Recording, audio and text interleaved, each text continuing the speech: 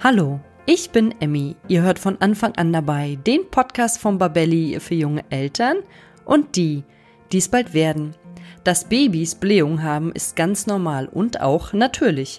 Doch wie erkennen wir diese und was sind die wirksamsten Mittel, unserem Baby zu helfen, die Zeit der drückenden Bäuchlein zu überwinden? Darüber spreche ich heute mit der Hebamme Christine Müller, denn ich möchte wissen, wie steht es denn um Wärme, Tee, Bauchmassagen und natürlich auch um die Kümmelzäpfchen. Und ist es wirklich eine Hilfe für das Baby, wenn man mit dem Fieberthermometer nachhilft? Ich bin schon ganz gespannt, was unsere Expertin dazu sagt und wünsche euch nun ganz viel Spaß beim Zuhören. Der Sponsor unserer heutigen Folge ist HIP mit der HIP Biokombiotik Folgemilch. Wenn ihr vielleicht jetzt oder zu einem späteren Zeitpunkt die Beikost einführt, werdet ihr das Ganze bei eurem Baby noch eine Weile durch Stillen oder Milchnahrung begleiten. Möchtet ihr eine Milchnahrung verwenden, so eignet sich dafür HIP Biokombiotik Folgemilch. Die ist sozusagen optimiert auf die Bedürfnisse des Babys im Beikostalter und enthält zusätzlich natürliche Milchsäurekulturen und wertvolle Ballaststoffe. HIP forscht in dem Bereich ja fleißig und entwickelt diese Folgemilch auch immer weiter. Und HIP macht auch noch mehr, was Bio angeht und übertrifft die Anforderungen des Gesetzgebers nochmal deutlich. Das überzeugt, denn die HIP Biokombiotik ist Testsieger bei Bio Babymilch. Den Link mit weiteren Infos dazu findet ihr wie immer in den Show Notes. Ja, hallo und herzlich willkommen zu einer neuen Folge von von Anfang an dabei. Heute zu dem Thema Blähungen bei Babys, das kann helfen und ich freue mich sehr auf die liebe Christine Müller. Du bist Hebamme und bevor wir jetzt gleich ins Gespräch gehen, liebe Christine, würde ich dich bitten, dass du dich unseren Zuhörenden einmal vorstellst. Gerne. Ich helfe werdenden Eltern dabei, sich gemeinsam als Team optimal vorzubereiten, um wirklich einen harmonischen Start als Familie und Eltern zu haben. Ich begleite seit über 20 Jahren als Hebamme Familien, Babys, auch mal mit Blähbäuchchen und habe selbst zwei kleine Kinder, die sind jetzt mittlerweile vier und sieben, aber auch wir waren vor Blähbäuchchen leider nicht gefeit. Ja, das ist wie bei mir. Ich war davor auch nicht gefeit. Und ähm, bevor ich es vergesse, was einige vielleicht nicht wissen, die jetzt vielleicht das erste Mal dabei sind, wir beide haben ja bereits zwei Podcasts zusammen gemacht. Und zwar einmal die Folge 79 zu den Geburtsvorbereitungen und einmal kleiner Zahlendreher, die Folge 97, was ist, wenn ich keine Hebamme finde. Das ist jetzt sozusagen schon unser dritter gemeinsamer Podcast. Und deswegen freue ich mich natürlich umso mehr, weil wir uns schon ein bisschen kennen, dass wir heute nochmal mal diesen Podcast gemeinsam machen. Und als erstes würde ich dich bitten, dass du uns mal erklärst, warum haben denn Babys eigentlich so viele Blähungen? Also oft heißt es ja, wenn das Kind Blähungen hat, ach, das sind die typischen drei Monatskoliken. Laut Fachliteratur gibt es die typischen drei Monatskoliken gar nicht, sondern man geht von der Unreife des Darmes aus. Der Darm muss erstmal seine Aufgabe seiner Aufgabe nachkommen, nämlich die Nahrung zu verdauen. Und er muss erstmal seinen Platz auch im Körper finden. Und das dauert einige Zeit, denn im Mutterleib hat der Darm noch nicht arbeiten müssen. Und sobald der erste Tropfen Muttermilch oder Babynahrung in das Kind reinkommt, fängt die Verdauung an. Und das ist für manchen Darm einfacher und der andere tut sich ein bisschen schwerer dabei. Oft ist es dann manchmal auch noch so, dass die Kinder viel Luft dabei schlucken und die Luft dann natürlich auch wieder zu einem kleinen Blähbäuchchen führen kann. Und das mit der Luft können wir aber tatsächlich ein bisschen verhindern, oder? Genau, also das mit der Luft lässt sich relativ leicht verhindern. Das ist so ein bisschen typabhängig vom Kind. Manche Kinder, die stoßen sofort auf, wenn sie getrunken haben. Andere, die muss man erst in 15 Minuten vielleicht auch mal aufrecht halten, vielleicht auch mal ganz leicht zwischen den Schulterblättern ein bisschen ähm, klopfen oder ein bisschen massieren. Und es gibt wieder andere Kinder, die stoßen nie auf, weil sie einfach keine Luft schlucken. Ah ja, das ist auch nochmal ganz gut zu wissen. Also es ist immer individuell von Baby zu Baby. Und jetzt haben wir ja gerade schon gesagt, es ist eigentlich ganz normal, dass die Babys Blähung haben. Und ich kann mich tatsächlich noch dran erinnern, da war meine Tochter, puh, vielleicht so vier Monate, hat die ganze Nacht geweint und geschrien und ich wusste überhaupt nicht, was ich machen sollte. Und dann habe ich irgendwie ganz verzweifelt damals meine Mutter angerufen und dann hat sie gesagt, reib doch einfach mal das Bäuchlein, vielleicht hat sie Bauchweh. Und deshalb stelle ich mir die Frage, wie erkennen wir denn überhaupt, dass unser Baby Blähung hat? Mhm. Also bei manchen Kindern sind es ganz harmlose Blähungen, sage ich mal. Da geht einfach immer mal wieder ein bisschen Wind ab und es muss sich vielleicht ein bisschen anstrengen, aber mehr auch nicht. Und es gibt wieder andere, die haben einen richtig aufgeblähten, kugeligen kleinen Bauch.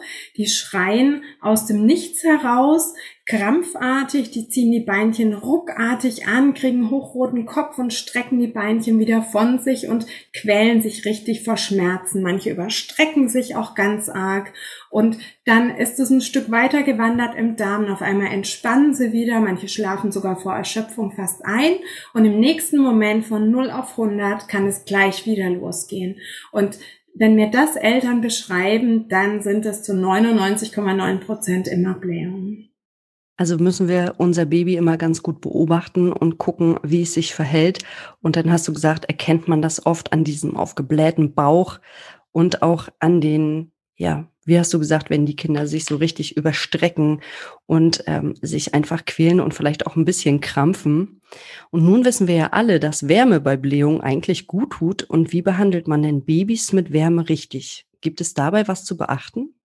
Auch das kann man wieder ein bisschen individuell gestalten und gucken, wie welches Kind es möchte. So als Klassiker kennen wir, denke ich, alle von früher die Wärmflasche. Bei der Wärmflasche ähm, würde ich jetzt keine Wärmflasche für Erwachsene nehmen, sondern wenn ich eine Wärmflasche möchte, dann eine kleine Kinderwärmflasche. Bei der Wärmflasche ist immer darauf zu achten, dass sie gut zugedreht ist und auch nicht zu heiß ist. An sich sollte das so Körpertemperatur ungefähr haben und dass sie einfach nicht auslaufen kann. Das ist immer die Hauptgefahr und Verbrühungsgefahr dann eben auch, wenn heißes Wasser austritt. Alternativ haben ganz viele sicherlich zu Hause oder kriegen es oft zur Geburt geschenkt Kirschkernkissen. Bei den Kirschkernkissen gilt das Gleiche, so schön handwarm warm machen, dass wir es als Eltern schön angenehm in der Hand halten können und ganz wichtig vorher nochmal durchschütteln. In den Kirschkernen staut sich oft die Wärme und auch das könnte wieder, wenn wir es nicht durchgeschüttelt haben, zu einer punktuellen Verbrennung führen. Alternativ könnte man aber auch einfach, wenn man jetzt beides nicht zur Hand hat, einen Waschlappen nehmen, den unter relativ heißes Wasser halten, so dass es von der Hand her gerade noch gut auszuhalten ist, bis man den ausgedrückt hat und sich selber dann an die andere Hand hält, hat er schon wieder ganz viel von Wärme verloren, ist aber noch warm und man könnte den auf den Bauch legen. Manche Kinder reagieren auch super auf diese feuchte Wärme. Ah ja, das ist nochmal ein ganz guter Hinweis. Hm. Und was manchen aber auch einfach ausreicht, ist, wenn sie die Wärme von Mama oder Papa spüren. Also wenn man sie sich auf den ähm, Brustkorb legt oder auf den Unterarm und dann eventuell mit so im Fliegergriff mit der Hand das Bäuchchen wärmt oder sie im Tragetuch trägt. Im Tragetuch Bauch an Bauch wird der Bauch durch den der trägt gewärmt Tragetuch hat noch die anderen Vorteile. Man hat ein bisschen Bewegung drin. Die Kinder sind oft auch ein bisschen abgelenkter und sie haben die Beinchen, wenn man das Kind richtig trägt, auch so wunderschön angewinkelt. Und in der Position geht einfach auch leichter nochmal was ab, wenn noch was drückt. Und was ich beim Thema Wärme auch immer noch super gern anspreche, ist, dass man darauf achtet, dass das Kind auch warme Füße hat. Denn ähm, sind die Füßchen kalt, weiß man einfach, stimmt die Durchblutung im Körper nicht. Und wenn die Durchblutung vom Herz bis zu den Füßchen nicht passt, das ist der weiteste Weg, dann können wir so dem Kind einfach helfen, indem wir ihm noch eine Schicht Socken mehr anziehen oder ein Strumpfhöschen mehr anziehen. Wenn die Füßchen schön warm sind, ist der Bauch auch gut durchblutet. Das wurde mir früher auch immer gesagt. Du musst mal gucken, dass dein Baby Socken anhat. Und jetzt weiß ich warum. Das ist auch schön. Aber nicht nur Wärme kann von außen helfen, sondern auch Tee tut unserem Kind ja sehr gut. Welchen Tee kannst du empfehlen und ab welchem Alter? Den Klassiker, den wir alle kennen, ist ja so der Kümmeltee oder den klassischen Stilltee, den Anis-Fenchel-Kümmeltee. Da kann man ab Geburt an den Babys mal so ein, zwei Teelöffelchen einflößen. Ich bin nicht der Fan davon, den Kindern mit der Flasche den Tee zu geben. Manche Kinder sind so begeistert und abgelenkt dadurch, dass sie jetzt was trinken dürfen von ihren Blähungen, dass sie das Fläschchen ruckzuck die 100 Milliliter vielleicht abpumpen und danach spannt das Bäuchlein, weil der Bauch voll mit Tee ist. Also lieber als Medizin quasi Teelöffelchenweise und den Rest darf die Mama trinken, falls sie stillt, dann geht es über die Muttermilch über. Bei dem Tee ist noch ganz wichtig zu beachten, dass es ein klassischer Beuteltee ist und kein Granulat. In den Granulat ist oft äh, Zucker mit drin und ähm, die Babys brauchen keinen gesüßten Tee. Wenn das Kind kein Tee mag, also mein Sohn, der hat auch den Tee absolut nicht gemocht, dann ist es so. Aber da bringt nichts, ähm, jetzt Zucker oder Honig reinzumachen. Also davon würde ich ganz klar abraten. Und ab wie vielen Monaten könnten wir dem Kind Tee geben? Teelöffelchenweise kannst du es wirklich schon im Neugeborenen geben. Also manche, die sind da auch ganz begeistert von zwei, drei Teelöffelchen, aber ich würde einfach nicht höher gehen von der Menge her, weil die sollen ja ihren Flüssigkeitsbedarf ähm, und ihre Trinkmenge über die Nahrung sich holen. Und könnte man das rein theoretisch jetzt auch mit so einer kleinen Spritze in den Mund spritzen oder sieht man davon ab? Ja, also wenn man die zu Hause hat, kann man das gerne auch so machen, wenn das Kind es möchte. Also es gibt auch Kinder, die nehmen das halt in den Mund, so der Mama zuliebe quasi oder dem Papa zuliebe und lassen es dann über den Mundwinkel einfach wieder rauslaufen, weil sie es nicht runterschlucken wollen.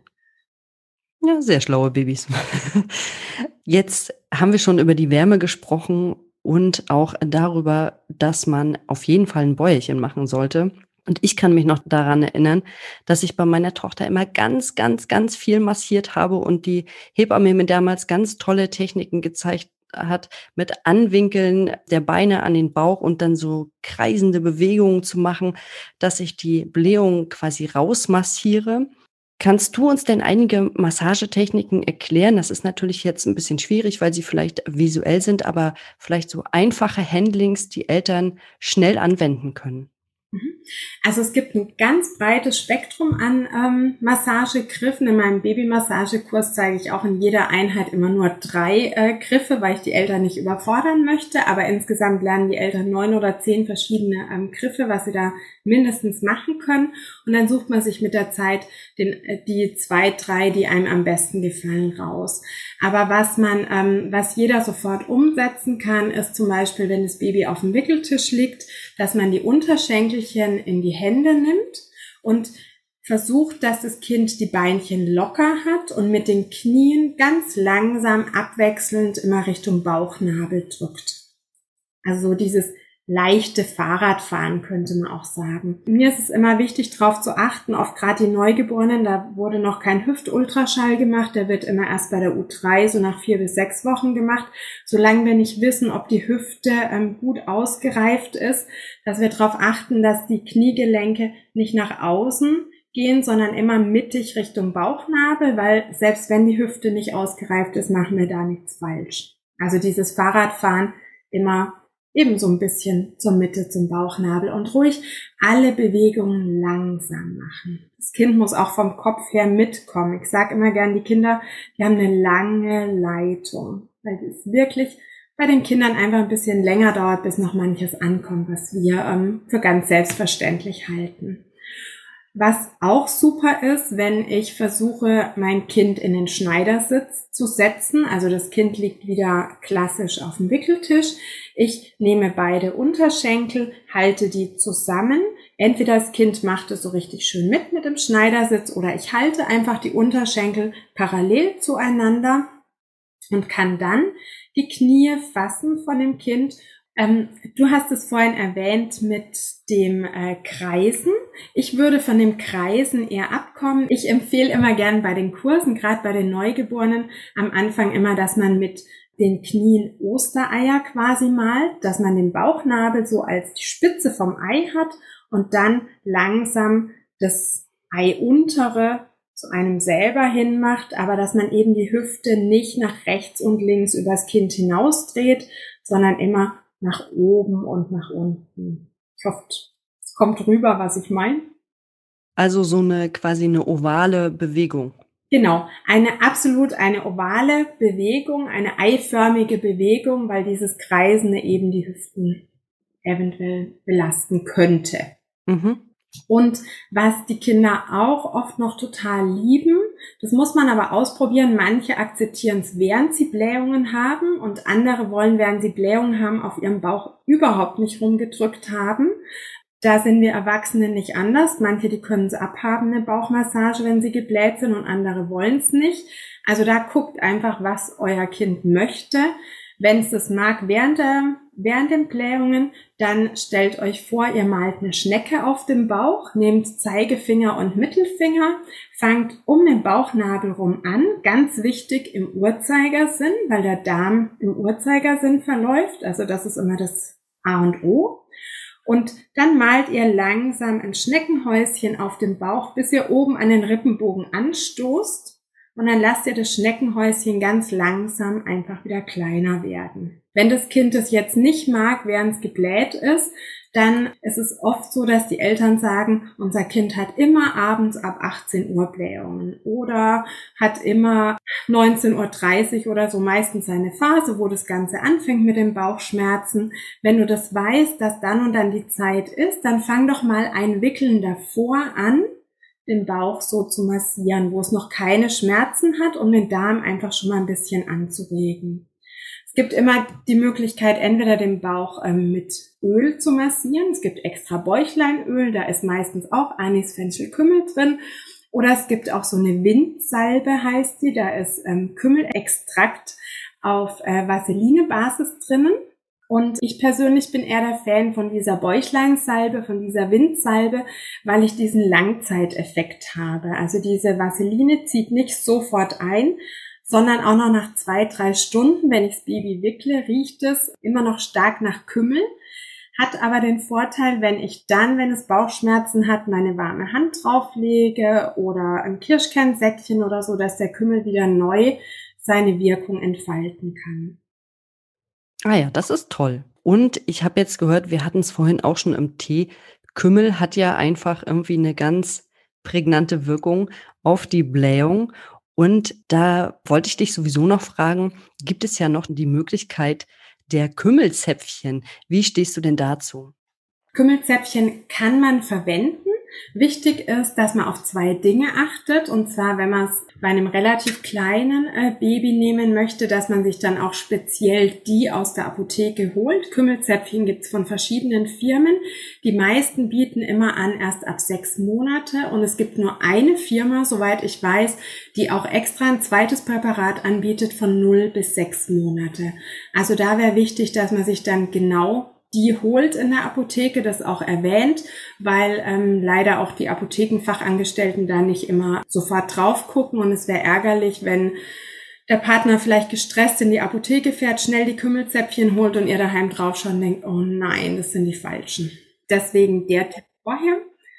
Genau, und das andere ist, ich würde sie in Maßen einsetzen, weil wenn wir den Enddarm zu oft überreizen, weil wir dadurch ja auch ein Signal setzen, dass eventuell äh, das Kind leichter Stuhlgang absetzen kann oder leichter Winde rauskommen, dann äh, wird der Darm eventuell träge und verlernt das auch wieder seine Aufgabe.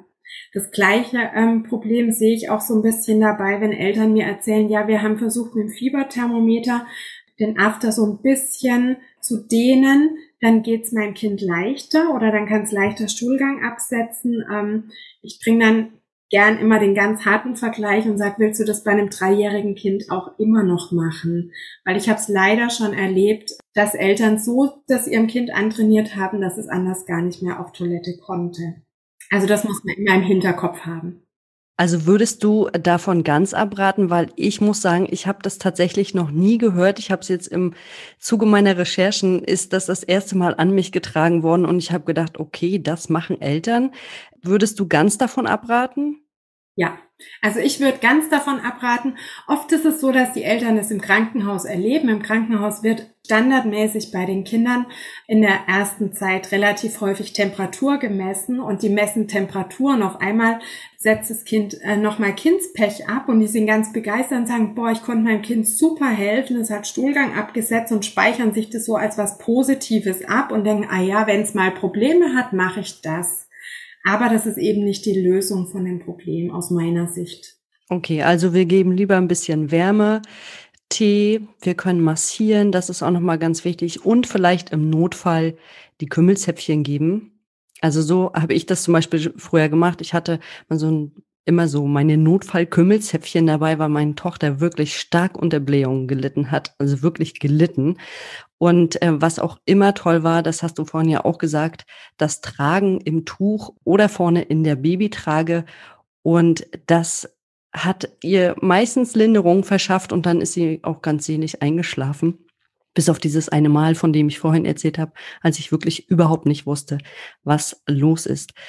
Also Wärme richtig gut, Massage können wir auch immer noch mal anbringen und Tee. Gibt es denn jetzt noch etwas, was du Eltern mit auf den Weg geben möchtest? Also mir ist immer wichtig, den Eltern auch ganz klar zu sagen, wann es wichtig ist, zum Arzt zu gehen. Und zwar, ähm, wenn Fieber mit dabei ist, würde ich zu Hause nicht mehr lang rumdoktern, dann würde ich mein Kind schnappen und gleich zum Kinderarzt gehen. Der Kinderarzt, der kann den Bauch abhören, der kann gucken, ob es vielleicht wirklich äh, auch noch irgendwas anderes ist, eine Mittelohrentzündung oder was auch immer. Also bei Fieber würde ich sofort zum Kinderarzt oder in die Kindernotfallpraxis gehen. Und wenn ich das Gefühl habe, mein Kind verhält sich ganz anders als sonst.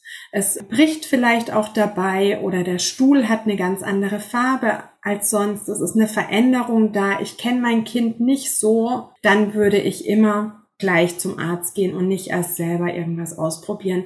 Im besten Fall sagt der Kinderarzt, nee, es sind nur ganz normale Blähungen, aber dann bist du als Mama oder du als Papa auch wieder beruhigter. Ja, in dem Fall ist vielleicht einmal mehr zum Arzt gehen doch der sicherere Weg. Also zum einen würde ich gerne noch kurz das ansprechen, Ernährung bei der Mutter in der Stillzeit. Also das ist ziemlich umstritten, ne? Die einen sagen, oh, du kannst essen, was du willst.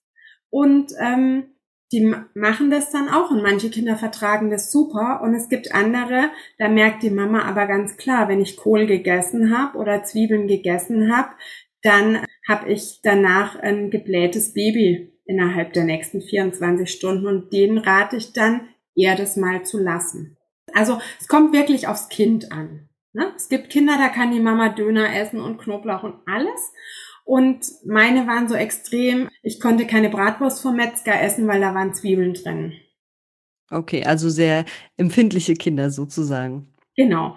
Und was ich auch noch gern erwähnen würde, ist, dass es wichtig ist, dass sich die Eltern beim Stillen oder beim Füttern Zeit lassen, denn unter Druck, das spüren die Kinder einfach auch, ist einfach so, dass die Kinder oft auch dadurch mehr Luft schlucken beim äh, Flasche geben ist es wichtig, dass ich die Flasche im richtigen Winkel halte, dass der Sauger komplett gefüllt ist mit Milch, dass das Kind nicht über den Sauger zusätzlich Milch reinzieht. Und wenn ich das Gefühl habe, beim Stillen mein Kind schluckt Luft, dann muss ich eventuell noch mal so ein bisschen fein justieren an der Stillposition. Und wenn ich mir da unsicher bin, ruhig auch noch mal die Hebamme oder Stillberaterin danach fragen. Ja, dass sie da noch mal Hinweise geben kann. Genau. Mhm. Und wenn ich das Gefühl habe, Mensch, ich mache alles und alles hilft irgendwie nichts, schicke ich auch ganz gerne die Eltern nochmal mit ihrem Kind zum Kinderosteopathen, weil ich auch da super Erfahrungen gemacht habe, dass die da oft sehr gut weiterhelfen können. Und ich glaube, da habt ihr vor kurzem auch erst einen Podcast dazu gemacht. Genau, da hatten wir gerade einen Podcast, wann es sinnvoll ist, mit dem Baby mal zum Osteopathen zu gehen. Und ich weiß ja auch aus eigener Erfahrung, dass Osteopathen bei ganz vielen Dingen helfen können und wahrscheinlich auch bei den Blähungen und dem Verdauungssystem, dass ich das vielleicht alles ein bisschen besser einstellen kann. Und wo finden wir dich, liebe Christine, denn jetzt eigentlich auch im Internet? Am besten findet ihr mich über Instagram. Da findet ihr mich unter deineonlinehebamme.de und da gibt's einiges rund um Schwangerschaft, Elternsein, Babyzeit. Genau. Und wenn ihr bei Christine mal vorbeigucken wollt, sozusagen auf der Insta-Seite, wir verlinken das Ganze natürlich auch nochmal in den Shownotes. Dann danke ich dir erstmal für den heutigen Podcast und ich denke, wir werden uns bestimmt in Zukunft nochmal hören und wieder einen Podcast gemeinsam machen. Sehr, sehr gerne. Danke auch. Dann vielen Dank und alles Gute für dich. Bis dann. Bis dann. Tschüss. Das war der heutige Podcast zum Thema Blähung bei Babys und wir haben jetzt nochmal gehört, dass es wichtig ist, sich beim Stillen Zeit zu nehmen. Das ist nicht immer ganz einfach, das weiß ich auch. Doch es kann unruhige Nächte, die durch Blähungen bedingt sind, ruhiger machen. Und wenn euer Baby trotzdem Blähungen bekommt, haben wir jetzt einige Methoden erfahren, um dem Baby Linderung zu verschaffen. So ist es immer ratsam, Fenchel, Anis, Kümmeltee sowie ein Kirschkernkissen im Haus zu haben. Und wenn euch der Podcast gefallen hat, dann abonniert ihn bei iTunes, Spotify oder wo immer ihr unseren Podcast hört, um keine neue Folge mehr zu verpassen.